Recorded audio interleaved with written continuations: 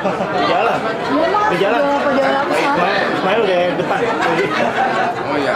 Eh, nemu Ismail nggak di depan? Udah keluar dari depan tadi. Eh, ini film film saya bareng sama Ismail Basbet ya. Eh, apa namanya? Memang judulnya kok kayak serem gitu kan, talak tiga cerai kan. Lagi di komedi kok kayaknya seperti eh, apa ya? eh, eh, mem- mem- membercandakan sebuah hukum gitu kan seolah-olah kesannya seperti itu. Padahal sebetulnya film ini nih sebetulnya misi saya, misi kami bareng-bareng dengan teman-teman adalah ingin menyampaikan kepada masyarakat terutama laki-laki untuk berhati-hatilah ketika dengan kalimat ini, dengan kalimat talak ketiga itu berhati-hati karena talak tiga itu adalah ungkapan untuk memutus hubungan kan? Karena itu setiap kali mau melakukan keputusan apalagi keputusan yang sangat besar menyangkut rumah tangga menyangkut hubungan yang yang berhubungan dengan masa depan itu betul-betul dipikir. Nah film ini tuh bercerita tentang seorang yang terburu-buru untuk menyatakan talak ya kan? Padahal talak itu ada yang pertama talak satu talak dua gitu kan? Ada dikasih kesempatan ketika udah bisa kasih kesempatan sekali lagi apa namanya untuk menyatu lagi. Yang kedua ternyata ada masalah lagi kemudian menyatu lagi. Nah ini si ada tokoh ini yang dimainkan apa Vino ini itu tuh langsung saya pokoknya nggak mau tahu karena saya udah marah sama pasangan saya saya maunya ini talak tiga dan pihak pengadilan itu sudah sudah memberitahu konsekuensinya kalau langsung dengan kalimat tiga nah inilah film ini sebetulnya dikemas secara komedi agar supaya nyampe kepada masyarakat dan dikemas secara ringan gitu kan. Tidak bermaksud untuk membercandakan tidak bermaksud untuk mengolok-olok atau apa segala macam tapi mencoba untuk membuat sesuatu yang pesannya ini kelihatan berat ini menjadi sampai ke karena ringan eh, dan di film ini Mas juga ikut sebagai pemainnya gitu.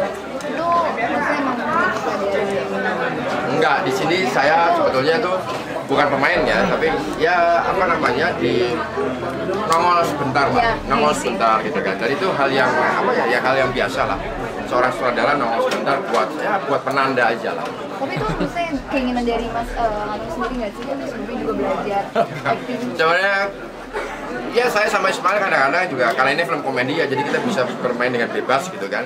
Terus saya bilang sama Ismail kita nongol lah di bagian terakhir aja lah di bagian terakhir kita akan keluar sebagai ya penanda aja bahwa ini adalah ini adalah main-main loh. Ini adalah ini adalah tidak serius ini adalah fiktif ini adalah fiksi dan macam makanya kita keluar.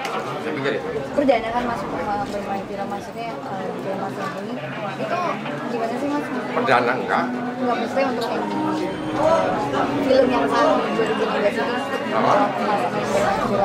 Mungkin sempat cerita juga sih enggak ini bukan hal yang besar bukan yang besar bukan suatu hal berita yang besar lah Mas Anung ini kan ibaratnya eh, setahun satu tahun yang lalu Mas Anung bikin hijab yang Iya. sama bikin satu juga. Iya. Nah ini apakah kerinduan Mas Anung juga menciptakan eh, komedi satir seperti itu? Ya, saya itu sebetulnya komedi itu kan eh, ada dua tingkatan lah kalau, kalau saya kalau saya bilang adalah. Yang pertama adalah hanya sekedar membuat apa ya hanya sekedar membuat ketawa ya kan? Itu dengan kepleset ya kan? Itu dengan apa ya ketimpa apa gitu kan? Itu namanya slapstick gitu kan? Yang kedua adalah komedi yang memang situasinya. Jadi memang pemain itu mencoba untuk bermain serius tapi situasinya memposisikan meletakkan penonton untuk tertawa. Jadi mentertawakan situasi yang sebetulnya dimainkan secara serius. Nah, film saya lebih suka untuk membuat membuat film komedi dengan menampilkan situasinya. Nah, parahnya, eh, bukan parahnya ya, susahnya adalah eh, film-film seperti itu, ya kan ketika dibuat trailernya, ya kan ketika dibuat trailernya itu tidak susah untuk apa namanya membuat ini lucu. Karena yang yang yang yang lucu adalah situasinya bukan bukan bukan orangnya.